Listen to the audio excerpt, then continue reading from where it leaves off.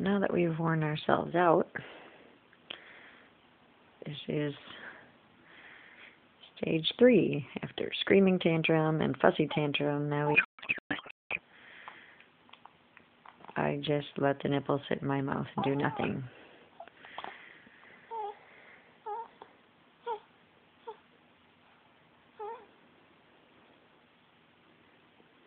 And he's not really sleeping because if I picked him up, he would be bright-eyed and bushy-tailed. But it's like he fakes it, so he doesn't have to suck on the bottle, or he pushes it out, or he puts his tongue up to the roof of his mouth like he's doing right now, so I can't get it in any farther.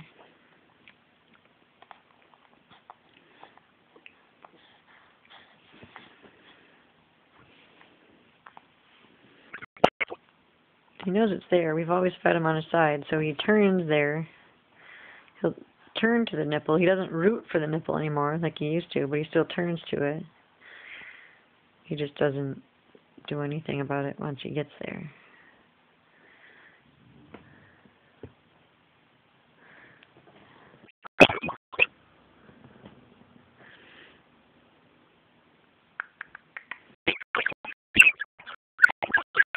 Gotta have your lunch. So you can go big and strong. Hmm?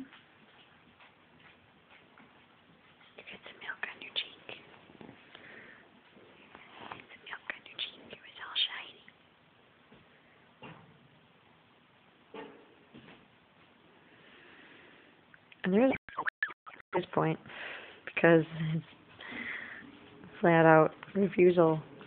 So short of getting the syringe out and force feeding him a milliliter at a time or half a milliliter at a time. There's no cooperation, which is very frustrating.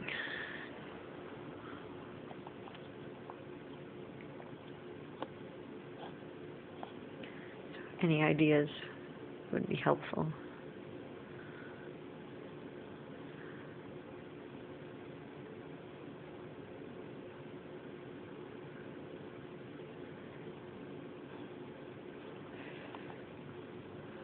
Gotta have a suck. Hmm. Yep. That's all we're gonna get. I think that wasn't really a suck. I think that was him moving his tongue up to the roof of his mouth.